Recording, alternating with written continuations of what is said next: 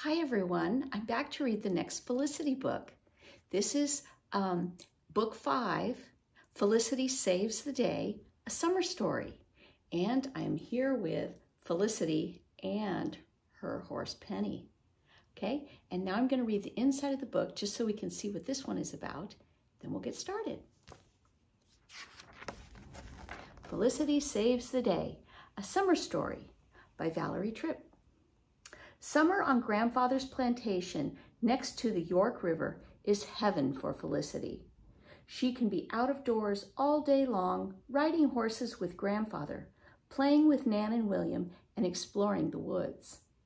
One day, Felicity finds a secret note. It is from Ben, her father's apprentice, and it is a cry for help.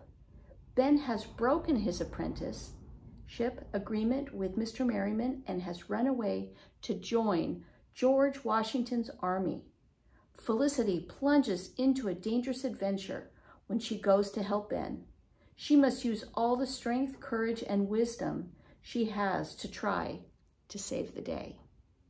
Okay, and let's get started with book five. And first we will find out about the characters in this story.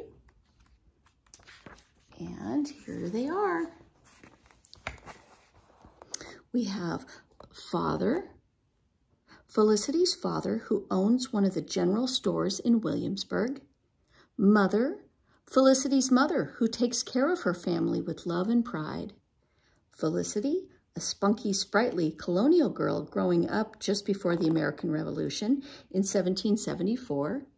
And there's Nan, Felicity's sweet and sensible sister, who is seven years old, William, Felicity's three-year-old brother, who likes mischief and mud puddles. There's grandfather, Felicity's generous grandfather who understands what is important. Ben Davidson, a quiet apprentice living with the Merrimans while learning to work in father's store. Penny, the spirited independent horse Felicity loves. Mr. Wentworth, a gentleman who is a neighbor of grandfather's, and Mrs. Wentworth, a lady who has strong opinions. And here they are. Let's get started. Chapter one is called King's Creek Plantation. Felicity wanted to whoop for joy. She ran so fast she was almost flying. Down the wide stone steps she ran, down the gentle sloping green lawn and through the garden bright with flowers. She ran all the way to the edge of the bluff, and there she stopped. Below her was the river, wide and blue and dazzling with light as it flowed along its way to the sea. Felicity grinned. Every summer of her life, she had come to stay at grandfather's plantation on the York River. And every summer, the very first thing she did when she arrived was run to the river. Summer did not begin until she'd seen the river's wide open sweep and heard its welcoming murmur. Hello, river, thought Felicity. Here I am, back again. What adventures do you have in store for me this summer? Grandfather's plantation was called King's Creek Plantation. It was about halfway between Williamsburg and Yorktown. Corn, wheat, and oats grew in the rolling fields above the riverbank. Cattle, sheep, and horses grazed in the sweet clover pastures. The fields, the slave quarters, and all the outbuildings of the plantation were on either side of the main house. Between the house and the river was a lawn flanked by both sides of dense woods. The lawn was green and broad. It was laced with white shell paths and decorated with flower beds.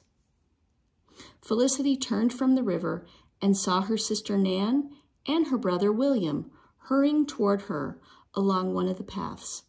Mother and grandfather strolled behind at a more gracious pace. Mother's parasol floated like a butterfly above the colorful flowers.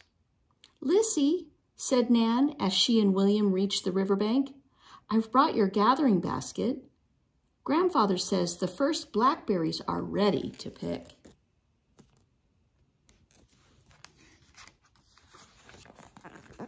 Blackberries, said William, all out of breath.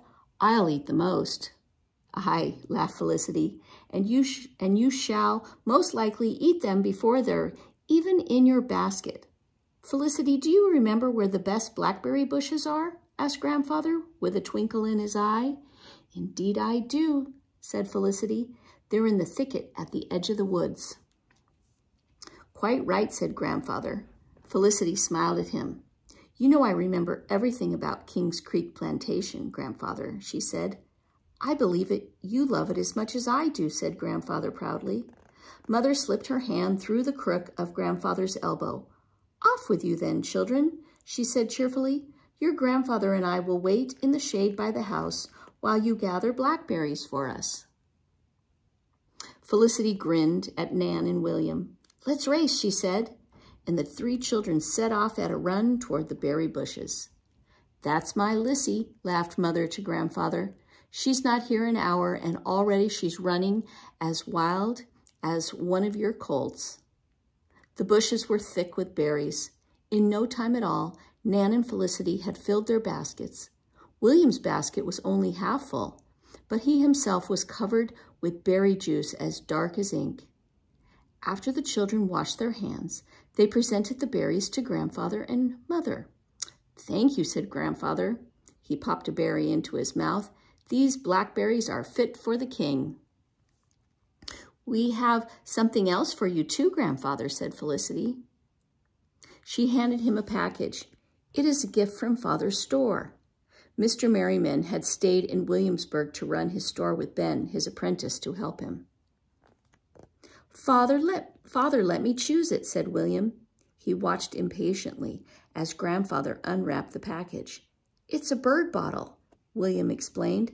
You put it in on the side of the building and the birds build nests in it and eat any insects that, that come around. How very fine, said Grandfather. I thank you. Of course, birds build their nests in the spring, not the summer, said Nan in her sweetly serious voice. There's no sense in putting up a bird bottle now. Tis the middle of July. Felicity saw William's disappointed face. Oh, but the birds will surely want to visit the bird bottle, she said qu quickly. I think we should put it up right away. Don't you, Grandfather? Yes, indeed, said Grandfather. And so the three children helped Grandfather attach the bird bottle to the smokehouse just under the eave of the roof. When they were finished, Grandfather said, There, now perhaps I will have birds as well as children visiting this summer. He put his arm around Felicity's shoulders and smiled down at her. All my visitors make me very happy. And that evening, while Nan, William, and Felicity were playing battledore and shuttlecock on the lawn, they saw a bird fluttering around the bird bottle. They stood quietly. The bird perched on the bottle, tilted its head, and studied them with the bright black eyes. He chirped mightily for a, for a while, as if to claim his ownership of the bird bottle. Then he flew away. Why didn't he go inside the bird bottle, asked William. He's probably too busy, Felicity answered. She doesn't want to be indoors anyway. There's too much to do out of doors. That was certainly how Felicity felt. She loved summers at Grandfather's plantation because she could be out of doors almost all day long. It seemed to her that life on the plantation was busy and lazy at the same time. There were a great many things to do, all of them pleasant, and there was never any hurry about getting them done. Felicity's days began early and peaceful, peacefully. Every morning before dawn, Felicity and Grandfather met at the stable. Grandfather rode his old stallion, Major, and Felicity sat side saddle on, on a ladylike mare named Jessamine. Together they rode at an easy trot to the bluff above the river. There they waited for the sunrise. The early morning was so still, Felicity thought she could almost hear the sun rising. It seems to whisper as it slid smoothly up from behind the hills, warming the gray clouds to pink and the black hills to green and the silvery river to blue. The sun filled the day with light and color. Well now, Felicity, my dear, grandfather would say, as they felt the sun on their faces, let us put this day to good use.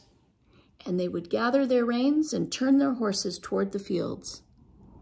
Some mornings, Felicity and grandfather rode from one end of the plantation to the other, all the way from King's Creek to the old footpath that led to Yorktown. There was so much to see. Summer was a generous season.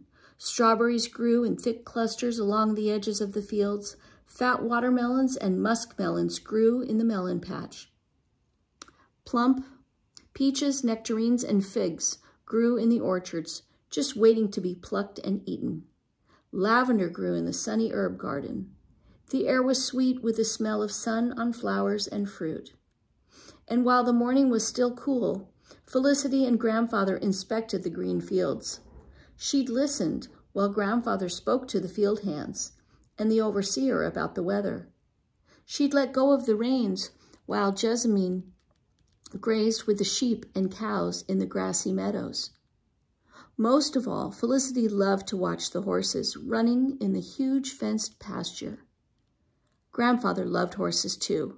He, he understood how Felicity felt when she talked about Penny, the horse she had secretly tamed and then had helped run away from its cruel owner, Mr. Nye. Whenever I see horses, I search for Penny, Felicity said. I've never stopped hoping that someday I will see Penny again. Do you think that's being foolish, Grandfather? No, my dear, said Grandfather. I think that's being faithful. When the morning grew warmer, Grandfather and Felicity would head back to the house through the woods. Grandfather would often stop to point out the name and name the wild herbs and other plants they passed. That's witch hazel, he said one day. Its juice makes a good medicine to put on a bruise. If you gather some sprigs, we'll borrow the cook's mortar and pestle, and I'll show you how to grind witch hazel and to extract its juice. Felicity slipped down from her saddle to pick sprigs of witch hazel and put them in her gathering basket. One morning, Grandfather told Felicity about the times when he was a young man who had just arrived in Virginia from England. I often went west on hunting trips, he said. I lived alone in these woods for these like these for days. But where did you sleep? asked Felicity. What did you eat? Fallen leaves gave me shelter. Pine boughs were my bed, answered grandfather. I hunted birds and game. I ate roots and berries. 'Twas a fine, simple life. It sounds so adventurous, said Felicity. She imagined living in the cool, dark woods under a fallen tree, where she would be surrounded by the smell of rich, damp earth. How wonderful to be so wild and free. The earth is happy to provide us with everything we need, said Grandfather, as they left their horses at the stable. We must only be wise enough to know how to use it. And that is the end of chapter one. We will read chapter two next time.